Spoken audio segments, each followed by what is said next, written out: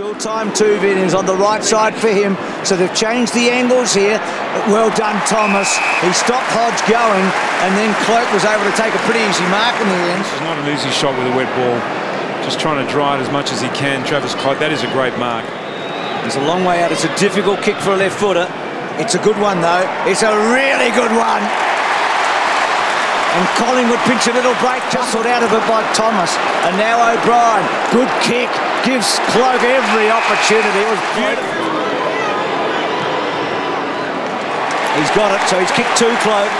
Loops it into the middle. A chance for Lynch. Long ball. Cloke might just be perfect out the back. Well, the kick was absolutely A1. Well, the passage of play deserves a goal. And Cloke delivers. Dwyer, very short to Lynch. Back to Dwyer. He's a good thinker, Dwyer. It's a lovely looking kick. To Lynch. And then the overlap. And look at him just summing it up. He had three options then. Chooses the right one. Today's kick three. Missed the first couple. They need this big time. And he delivers his kick four. Collingwood come back. He's one of the game's great celebrators too. So in his first minute, his first goal, and the Pies, they press again quickly out of the middle. He's one of the game's great celebrators too. So in his first minute, his first goal, and the Pies, they press again quickly out of the middle. And here comes... The struggle's on.